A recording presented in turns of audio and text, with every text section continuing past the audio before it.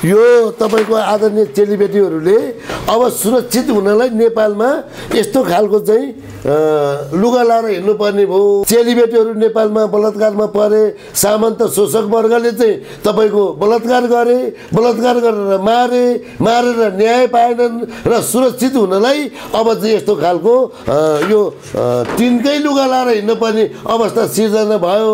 अब यस्ता लुगा लाएर हिँड्नु हिँड्नुपर्ने दिन आएछ। होइन यो चाहिँ टिनको लुगा कभर होइन?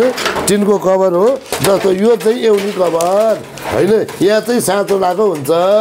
यदि साँचै लाउने? यदि श्रीमानले श्रीमतीलाई चाहिँ शारीरिक सम्पर्क गर्न पर्यो भने पनि तपाईँको श्रीमतीको अनुमति नभइकन। साँचो नखोल्ने। श्रीमतीको अनुमति भएपछि मात्रै पाउने। भनेर चाहिँ श्रीमानले पनि श्रीमतीलाई श्रीमतीको अनुमति नभइकन शारीरिक सम्पर्क गरेमा छ महिना जेल पर्छ। त्यसो हुँदा ए अब चेलीबेटीहरूले यस्तै लुगा लाउनु पर लाएर हिँड्नुपर्ने भयो। दर्शकबिन स्वागत छ। यतिखेर हामी पल शाहको विशेष कुराकानी गरिरहेका छौँ। पल शाह यतिखेर तरौँ जिल्ला अदालतले निर्दोष साबित गर्दै छोडिसकेको अवस्था छ भने नवरपुल जिल्ला अदालतको फैसला अनुसार उनले साढे दुई वर्ष कैद काटिरहेका छन्। दस लाख रुपियाँ क्षतिपूर्ति र पच्चिस हजार रुपियाँ जरिवाना दिएका पल शाह यतिखेर नवलपुरको आदेशअनुसार जेलमै छन् भने उनले नवलपुरको आदेश विरुद्ध उच्च अदालतमा फेरि पनि पुनः पुनः त्यो मुद्दालाई हेरिनुपर्छ भनेर फेरि पनि मुद्दा दायर गरेका छन् उच्च अदालतमा। यो कुरा हामीले थाहा पाइसकेका छौँ बुझिसकेका छौँ। तर प्रश्न कहाँनिर उठ्छ भने पल शाह एकजना व्यक्ति उनको मुद्दा एउटा बलात्कारी अथवा बलात्कार सम्बन्धीको मुद्दा एउटा। मुद्दा चल्छ दुई फरक जिल्लामा नवलपुर र तनहु। र दुईटाको फैसला फरक फरक आउँछ। एउटामा त्यही व्यक्ति दोषी हो कैद सजाय खेप्नुपर्छ भनेर आउँछ। अर्कोमा त्यही व्यक्ति निर्दोष छ भनेर आउँछ। यही विषयमा कुराकानी गर्नेछौँ। कुराकानी गर्नको लागि आज हामीसँग हुनुहुन्छ हिरालाल भुजल। जो जनकलाकार पनि हुनुहुन्छ स्वागत छ यहाँलाई। हस् धन्यवाद प्रश्नको लागि। प्रश्न यही नै हो। एउटा व्यक्ति काहीँ निर्दोष हुन्छ काहीँ दोषी हुन्छ। तपाईँलाई के लाग्छ मैले बुझेँ हजुरको प्रश्न। फेरि पनि तपाईँलाई धन्यवाद। यो अलिकति गहिरै छ यसको जवाब। अब सुन्नुहोस् है त ध्यान दिएर। पहिलो नम्बर कुरा म नेपालको अदालतहरू छ नि। वकिलले मिलाउने न्यायाधीशले खाने। सरी वकिलले भन्न सक्नु भएन क्या त्यो। वकिल हजुर। भन्नै सक्नु भएन कि खोकी लाग्यो त्यो जब कसैलाई आरोप लाउनु भयो नि निराधार आरोप। कस्तो आधार? निराधार क्या कस्तो निराधार भन्ने? तपाईँसँग आधार छैन नि त आरोप लाउने। तपाईँलाई आधार मैले दिनुपर्छ आधार? त्यो इच्छाराज तामाङको हो। तामाङको भिडियो कल तपाईँले हेर्नुभएको छ? अहिले इच्छाराज तामाङ कहाँ छ? थाहा छ तपाईँलाई? कहाँ छन्? दुई करोडमा डिल भएको थाहा छ तपाईँलाई? त्योभन्दा परमाण के चाहिन्छ? चोलेन्द्र शमशेरले चोलेन्द्र शमशेर मेरो इच्छामा लाग्यो मैले छोडिदिएँ। त्योभन्दा परमाण के चाहिन्छ? अदालत भनेको तस्करी घुसिया माफियाको एउटा चाहिँ त्यो घाट भने पनि हुन्छ। त्यो त्यस्तै घाट हो। अब तपाईँले जुन सोधेकै प्रश्नमा म के आउँ भने एउटै व्यक्तिले दुई ठाउँमा एउटै मुद्दा कसरी लाग्यो? मुद्दा त लागिसकेको छ। है? सुन्नु न सुन्नु सुन्नु। कसरी लाग्यो? र फेरि फसेला दुईवटा दुई तरिकाले आउनु पऱ्यो नि अब त। एउटाले चाहिँ एउटाले जुन अब यो नवलपुरको जिल्ला अदालतले के भनेको छ भने तपाईँको शारीरिक सम्पर्क गर्ने मनसाय राख्यो। हजुर। मनसाय राख्यो अथवा इच्छा जाहेर गर्यो। यौन दुरुपयोग गर्यो। यौन दुरुपयोग होइन नि हजुर त्यो। उसले मन चाहिँ राख्यो क्या के यौन दुराचारको होइन उसलाई केस लाग्यो? यौन दुराचार यौन दुरुपयोग यौन दुरुपयोग होइन यौन दुरुपयोग भने चाहिँ के हो नि? खोइ के हो त? तपाईँहरूले दुरुपयोग भने के? उपयोग नगरेको। दुरुपयोग चाहिँ के त? टाढाबाट उपयोग। दूर भनेको टाढा होला उपयोग भनेको दूर उपयोग। टाढाबाट उपयोग गरेको होला। तपाईँको के हुन्छ भने अदालतको एउटा त्यो लेखाइमा महिलालाई सिधा नजर लागे पनि नजर करणीको मुद्दा लाग्छ। नजर करणी को मुद्दा लाग्छ। कानुनमा त्यो छ। होइन? यो चाहिँ हो के भन्दा अब फेरि अर्को कुरा के हो थाहा छ? कुनै महिला एकजना महिलालाई चाहिँ कसैले जबरजस्ती करनी गर्यो। गरिसकेपछि ती महिलाले प्रतिकार किन गरिनन्? प्रतिकार गर्दाखेरि उनले ढुङ्गाले हिर्कै हिर्काइ मारे पनि ती महिलालाई कानुन लाग्दैन। यो पनि कानुनमा लेखिया छ। हजुर। बुझ्नुभयो। बलात्कार गर्दाखेरि उनले आफ्नो ज्यान बचाउनलाई होइन? क चिर चिच्चाइन कराइन रोइन कसैले चाहिँ साथ दिएन र उनले लखेटी लखेटी ढुङ्गाले हानेर मारे पनि खतबाद लाग्दैन भनेर त्यही कानुनले लेखेको छ। हजुर। होइन? अब एउटै व्यक्तिलाई दुई ठाउँमा किन मुद्दा लाग्यो? भनेपछि मुद्दा लागिकन एक ठाउँबाट चाहिँ उहाँले सफाइ पाइसक्नु भएको अवस्था हो। होइन? अब रह्यो नवलपुरको कुरा। होइन? अब यहाँ त यी यो नेपालको अदालत भनेको नेपालको अदालत भनेको कस्तो हो भनेदेखि अहिले मैले भने घुसिया तस्करी माफियाको एउटा घाट हो त्यो। तिनीहरू चाहिँ यो नेपालको न्यायाधीश र वकिल वकिलले मिलाउँछ न्यायाधीशले घुस खान्छ। यो प्रष्ट हो। अब त्यही एउटै मुद्दा दुई ठाउँमा किन लाग्यो? भने त्यो चाहिँ कानुनमै छ कि हजुरको। हजुर कानुनमै छ त्यो चाहिँ। अब त्यो कानुनी रूपमै भएको भएर उनीहरू त एउटा सानो एउटा अक्षर पायो भने त त्यसलाई त कालोलाई सेतो सेतोलाई कालो बनाएर खाने हुन् होइन? अब पहल शाहले जे भए पनि कुरा मरिजौँ केही बुझिन। जनताले बुझ्ने गरी भनिदिनु न। सिधा नजरले हेरे पनि नजर कराउनेको मुद्दा लाग्छ सर महिलालाई के? लाग्छ त। अब उहाँले- फैसला किन? मेरो प्रश्न त त्यो थियो। दुईवटा फसेला किन भनिन्छ सर? हजुर। उहाँ दुवै ठाउँमा उहाँले चाहिँ होइन बलात्कारको कोसिस गर्नुभयो क्या। बलात्कारै गर्नु भनेर उजुरी परायो त कोसिसको कुरा गर्नुहुन्छ तपाईँ। उजुरी त गर्नु लागेपछि पर्या हो। नि तर गरेको त होइन नि। गरेको होइन रहेछ भन्ने कुरो अदालतले भनिदियो। अनि अदालतले चाहिँ के भन्यो भने उहाँले गरेको होइन भनेर तनहुबाट गर्न मात्रै खोजेको गर्न चाहिँ गरेको होइन भनिदियो। गर्न खोज्नु पनि कानुनको विपरीत हो? नजर करनी मात्रै सिधा नजरले तिस सेकेन्ड तपाईँ नजरले हेर्नुभयो भने पनि नजर करणीको मुद्दा लाग्छ। उहाँले गर्न खोजेको तर पछि नगरेको। भन्ने फसेला त आयो नि सफाइ त पाउनुभयो नि कहाँबाट? तनहुबाट। है एउटा भएर पार। अब उहाँलाई छुट्ने आधार चाहिँ धेरै बन्छन्। आधार चाहिँ बन्छन्। गर्न खोजेको भनेर आयो। तनहुबाट त निर्दोष छन् प्रमाणै नपुगेको। पर्मानेन्ट नपुग्यो भनेर आयो। होइन? अब यताबाट फसेला हुन बाँकी छ। यताबाट फसेला हुन त बाँकी छ नि तपाईँको। यताबाट फसेला हुनु चाहिँ कहाँ जानु पर्यो भन्दा उच्च अदालतको सत्र नम्बर इजलास भन्ने हुन्छ। त्यहाँबाट यो पल्सा छुट्नलाई। तपाईँको त्यो जुन उहाँलाई दुई वर्ष साढे दुई वर्ष जेल तोकेको जुन छ नि। त्यो चाहिँ बदलाउनु पर्यो सर। हजुर।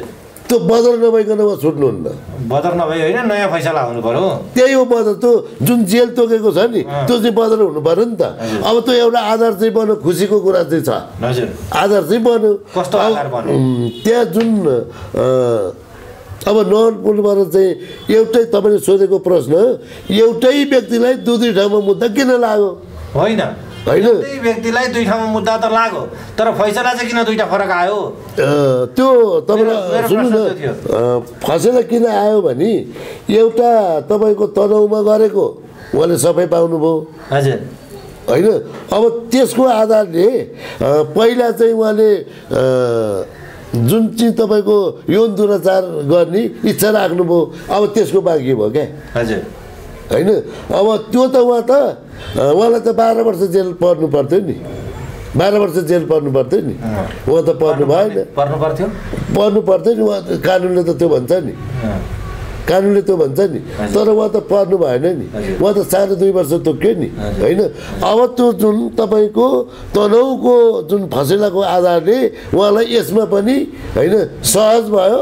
अब तपाईँ के बुझ्नुहोस् भने अदालत कस्तो हुँदो रहेछ भनेर त बुझिहाल्नु भयो नि तपाईँले। बुझिनँ हौ मैले। बुझाइदिनुहोस्। तपाईँले अहिले मैले भने त्यति भए त तपाईँले काफी बुझ्नुपर्ने। अदालत भनेको घाट हो क्या बुझ्नुभयो?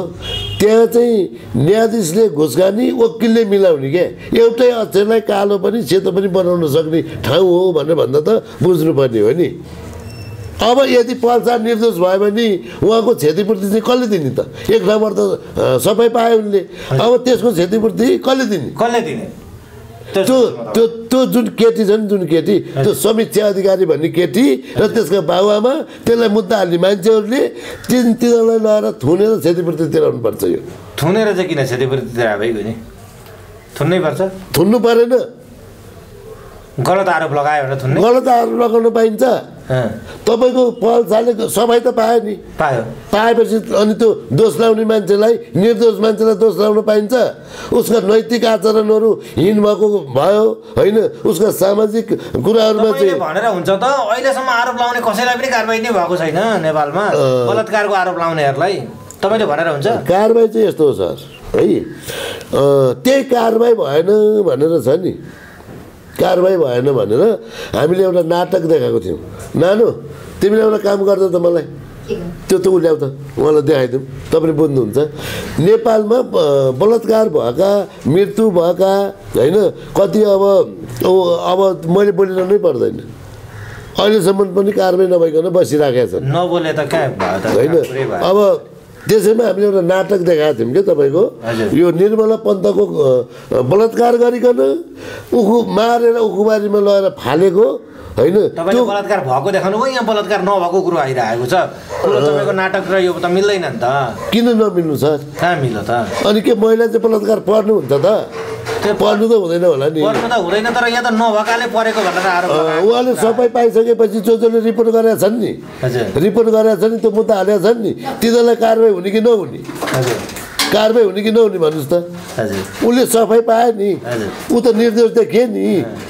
योभन्दा हामीले त पहिला पनि मिडिया पनि बोल्दै बोल्दै बोल्दै बोल्दै आएको हो नि हामी। बोले होइन र। तपाईँहरूको मिडियामा पनि कैद छन् होइन? अब बलात्कार भएकै मान्छेहरू कतिले त न्याय पनि नपाइरहेको अवस्था हो नि। होइन? न्याय नपाएको नि छन् नि। तपाईँको त्यसो हुँदा अब महिलाहरू पनि संवेदनशील हुनु पर्यो। निर्दोष मान्छेलाई दोष लाउनु भएन होइन? भन्ने मेरो भनाइ हो। अब निर्दोष मान्छेलाई पनि दोष लाउनु भएन नि। अब पल्सार निर्दोष भए तपाईँको तनहुको अदालतले सफाइ दियो। भनेपछि उहाँलाई मेरो सिधा भाषामा कुरा हो त्यो जुन समीक्षा अधिकारले त केस त हाल्यो हो नि। हो। हो नि? समीक्षा अधिकारलाई कारवाही हुने कि नहुने? त्यही त अब हुनुपर्ने त होला नि त। उसको बाबाआमालाई कारवाही हुने कि नहुने? उसको सामाजिक जुन न्यायचित उसको पल्साको जुन नैतिक आचरणमा आँच आउने बलात्कारको मुद्दा लाग्यो होइन? त्यो मुद्दा अब उसले कसै गरी धोएर जान्छ सफा गरेर जान्छ। जान्छ। ल म पो होइन बल्छाले गरेको। मलाई छोएको पनि छैन भने त उनीहरूले भनिदिइसक्यो नि त। त्यो फटा केटी हो हेर्नुहोस्। त्यो फटा केटी त्यो कलाकारै होइन त्यो केटी। गायिका नै होइन। कहाँ गायिका हुन्छ सर? गायिका हुन्छ सर। मञ्चमा बसेर तिग्रा देखाएर गीत गाएर गायिका हुन्छ। त्यत्रो चर्चित गीत गाएको क्या तेरो तपाईँ छोड्नु न सर तपाईँ मैले भनेको कुरै तपाईँ पत्याउनुहुन्न। कि सङ्गीत भनेको गीत भनेको तपाईँको कृषिमा जोडेको हुनुपर्छ प्रकृतिमा जोडेको हुनुपर्छ। अनुहार देखाएर त्यो अनुहार बेच्नेहरू हुन् तिनीहरू। मैले त कलाकार मान्दिनँ सर। कलाकार भने के हो थाहा छ तपाईँलाई? ऊ हरिवंश आचार्य कलाकार हुन् गौरी मल्ल कलाकार हुन् मिथिला शर्मा कलाकार हुन् बुझ्नुभयो कलाकार भनेको तिनीहरू हुन्। अहिले त यो मिडियामा युट्युबमा मञ्चमा बस्यो होइन? अनि यसो तिग्रा सिग्रा देखायो अनि त्यहाँबाट कलाकार भनिदियो होइन? अनि त्यहाँबाट भ्युज बनाउनलाई पैसा दियो एक लाख त्यस्तो पनि कलाकार हुन्छ। तपाईँहरूको नजरमा होला मेरो नजरमा होइन। बुझ्नुभयो? कलाकार हुनलाई आफैमा केही चाहिन्छ सो राम्रो भएर हुँदैन। ऊ नारायण गोपाल त कलाकार होइनन्। लो अब हामीले धेरै गफ गऱ्यौँ। तपाईँले पनि नारायण गोपाललाई नै हो। कलाकार होइनन् भनिदिएपछि तपाईँले गफ धेरै गर्नुभयो। पहिला तपाईँले यो त बुझ्नु न सर। ऊ किन कलाकार भएको भने खोइ सोध्या भन्नुहोस् न। उनले चाहिँ नारायण गोपाल चाहिँ कलाकार हुनलाई उनले गीत लेखे एउटै शब्द दुईतिर दोहोरिनु हुँदैन। बुझ्नुभयो? यो सङ्गीतको सागर छ। सङ्गीतको सागर मान्छेले बुझ्दैन। अहिले त मिडियाले बनाएको कलाकार हुन्। होइन? मिडियाले बनाएको पहिला यस्तो छैन सर। है? त्यो सङ्गीतकारले प्रकृतिमा जोडेको गीत गाउनै पर्छ। बुझ्नुभयो? कृषिमा जोडेको गीत गाउनै पर्छ। अब अहिले त कमर्सियल हिसाबले गाउँछन्। उनीहरूलाई मैले नराम्रो भनेको होइन नि सर। यो त कमर्सियल व्यापार कलाकार हो के कलाकार त होइन नि के सर? कलाकार हुनलाई चाहिँ के हुनु पर्यो भने प्रकृतिसँग जोडेको गीत गाउनु पर्यो क्या सर? ल ठिक छ। बुझ्नुभयो? पल शाहको हकमा चाहिँ। अब पल्सा पल्साको हकमा चाहिँ तपाईँ कलाकार हो होइनतिर नजानुहोस् न। कलाकार हो होइन नजानुहोस् ऊ अहिलेसम्म एउटा अदालतबाट सफाइ पाए। अब उसलाई क्षतिपूर्ति कसलाई दिने त तपाईँ भन्नु नि त ल। कसले दिने ल भन्नु न त। त्यो केटीले दिने कि नदिने त? अब कहाँ त्यस्तो कानुनै छैन अनि त्यो? त्यसो भए त मलाई तैँले आरोप लगाए नि भयो। अब खोइ भएकै छ त अहिलेसम्म? भएकै छ भन्ने कुरा हुँदैन नि सर। अब पल्साले चाहिँ छ नि त्यो केटीलाई उज्रो हाल्नु पऱ्यो क्या हाल्छन् र। हाल्नु परेन। हाल्दैनन्। हालेनन् भने त उनको कुरा हो। हालेनन् भने त उनको कुरा भयो नि। पीडितले पनि मलाई यसो गर भनेर त भन्नु त पऱ्यो नि। नाबालिगलाई चाहिँ कसरी उज्रो नाबालिग हुन् अर्काले उक्साएर उक्सिन्छ भन्ने कुरो छ। कति वर्षको? कति वर्षको भयो नि ती? अब अहिले जति वर्षको भयो नि त्यतिखेर मुद्दा हाल्दा सत्र वर्षको थिएँ सत्र वर्षको केटी नाबालक हुन्छ? अब हुन्छ त। भन्यो सरकारले कानुनले भन्नु तपाईँले भनेर हुन्छ। हो त्यसै भएर मैले तपाईँलाई भनेको नेपालको कानुन यो चाहिँ नेपालको कानुन कस्तो छ भने। साम होइन होइन सर। सामन्ती शोषक वर्गले डलर लिएर बनाएको कानुन हो बुझ्नुभयो? नेपालको कानुन भनेको। त्यस्तो कानुन हो नेपालको। बुझ्नुभयो? सोह्र वर्षमा ऊ त सत्र वर्षको भइन्। होइन? मैले मैले मेरा बुबाले तपाईँहरूका बुबा आमाले पनि त्यसो भए पल शाह बलात्कारी होइनन् बलात्कारी पल शाहको चरित्र बलात्कार गर्ने चाहिँ ती आरोप लाउने चाहिँ भयो नि त्यसो सुन्नु न त्यो आरोप लाउने केटी चाहिँ उसलाई डबल कानुन लाग्नुपर्छ र उसलाई लगेर थुन्नुपर्छ सोह्र वर्ष पुगेपछि ऊ बालिक हुने कानुन बनाउनुपर्छ यो कानुन संशोधन गर्नुपर्छ। अब सुन्नुहोस् है म एउटा कुरा जोडिहालौँ। पल शाहले बलात्कार पनि गरेको होइन। होइन भनिदियो सुन्नु न एउटा अदालतले त फसेलाइ गर्यो। बलात्कार गरेको होइन होइन अर्कोले नि बलात्कार गरेको होइन भनेर भन्यो। अनि क्षति चाहिँ के को तिराको भनेको के? मैले बार बार म यही भनिरहेको छु। क्षति के को तिराको? क्षतिपूर्ति? क्षतिपूर्ति के को तिराको? खोइ केहीको होला नि त होइन। क्षति त हुनु पर्यो नि यौन दुरुपयोग गरेको। सर यौन कहाँ गर्यो त यौन दुरुपयोग खोइ कहाँ केमा गऱ्यो? यो नवलपुर जाँदा तनहुँ जाँदा गऱ्यो होला नि कहाँ गर्यो त कहाँ गर्यो नजर करनी गरे हो कि। यौनीमा गरे हो कि। यौनीमा भयो कति एमएमको त्यहाँ क्षति भएको छ स्तनमा गऱ्यो कि होइन कहीँ गरेर रहन्छ नि त। कहीँ पनि गरेर रहन्छ कहीँ गरेको त देखिएन। त्यसो भए क्षति नै भएन किन अनि हो त्यो क्षतिपूर्ति किन तिराएको। कस्तो खालको न्यायाधीश हो त्यो? क्षति नै नभइकन क्षतिपूर्ति तिराउने। एउटा मोटरसाइकलको पछाडिको त्यो जुन लाइट हुन्छ नि ब्याक साइडमा लाइट हुन्छ नि त्यो लाइटै नफुटिकन तपाईँ हिँड्नुभयो। हिँड्दाखेरि त्यो लाइट चाहिँ नफुटिकन तेरो लाइटको क्षतिपूर्तिले भनेर भन्न मिल्छ। मिल्दैन है। हो त्यसो हुँदा त्यसो हुँदा यो न्यायाधीशहरू घुस्या हो बुझ्नुहुन्छ? न्यायाधीशहरू घुस्या हो घुस खान्छ। अब न्यायाधीशले प्रत्यक्ष खाँदैन भने पनि न्यायाधीशको स्वाइनले खान्छ। बुझ्नुभयो? यो देश त्यस्तो हो। यो देश घुस्या देश हो। यो वकिल न्यायाधीशको त म त यिनीहरूको त यहाँको सबभन्दा शोषक सबभन्दा फटा नै यो देशको वकिल र न्यायाधीश हो। बुझ्नुहुन्छ? कालोलाई सेतो सेतोलाई कालो बनाउने। अब फेरि पनि म त्यही कुरामा आएँ के? तपाईँको उसले सफाइ पायो नि पल्साले। पल्साले सफाइ पाएपछि त्यो केटीलाई सजाय हुने कि नहुने? सत्र वर्षको केटीले चारवटा बच्चा पाएर व्यवहार गरेर बसेको छ। अनि त्यो केटीलाई चाहिँ सजाय नहुने? यो केटीलाई सजाय हुनुपर्छ। होइन चारवटा बच्चा पाउनु सामान्य कुरो हो। सत्र वर्षको केटीले चारवटा त्यो नाबालक हुँदैन। नाबालक हुँदै हुँदैन। त्यो नाबालकहरू म तपाईँलाई नुवाकोटको घटना देखाएको मेरो डायरीमा लेखेर राखेको छु मैले हजुर। नाबालक हुँदैन भनेर त धेरैले भनेका छन्। कानुनले कानुनले भनेर उनलाई कारवाही हुनुपर्छ भन्ने तपाईँको माग हो? कसलाई? केटीलाई। केटीलाई कारवाही हुनुपर्छ हेर्नुहोस्। सबैको माग त यो हुँदैन त अब। अब त्यो पल्सा पल्साले गर्नु पर्यो नि। पल्साले गर्नु पर्यो नि हजुर। उसले रिपोर्ट हाल्नु पर्यो नि। ए नहाले चाहिँ हुँदैन। नहाले त कसरी हुन्छ? हाल्न दबाब दिनुहुन्छ तपाईँहरू? यत्रो मिडियामा भनेको छ तपाईँहरूको यस्तो चाहिँ मिडियामा बोलिरहेको छु मैले दबाबको कुरै भएन। भने दिनु पर्यो उसलाई को को माथि शङ्का लाग्छ? ऊ नाबालिका भइन्। नाबालिगको ठाउँमा कहाँ लाने हो? सरकारले लान्छ। उसलाई उक्साउने व्यक्ति पनि छन् नि। ती तिनलाई त हाल्नु पर्यो नि। उसलाई शङ्का लागेका व्यक्तिहरूलाई हाल्नु पर्यो नि। अब उसले चाहिँ पल्साले मलाई अब यति भइहाल्यो। होइन अब म छुट्टी अब साथीहरूले म केही पनि गर्दिनँ भन्यो भने त फेरि सक्यो। सक्यो। एउटा कुरा यो- दिनु परेन। हस् हस् धेरै धन्यवाद। नमस्कार।